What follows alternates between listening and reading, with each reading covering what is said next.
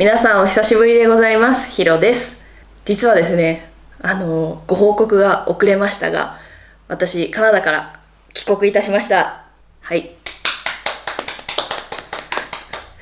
えっ、ー、とちょっと申し訳ないんですけれども動画を全然上げていなかったので あの今後もまた日本にいるんですけれどもあのカナダの動画をちょっとこうまだ出していないのを出していこうかなと思っております。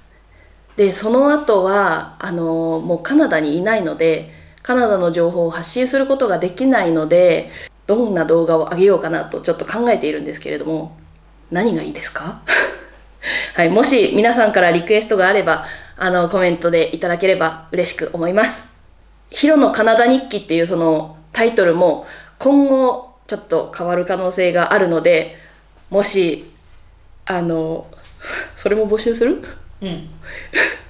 じゃああのこんなのがいいんじゃないっていうもしそういうのがあればちょっとそちらの方もコメントいただければありがたいです。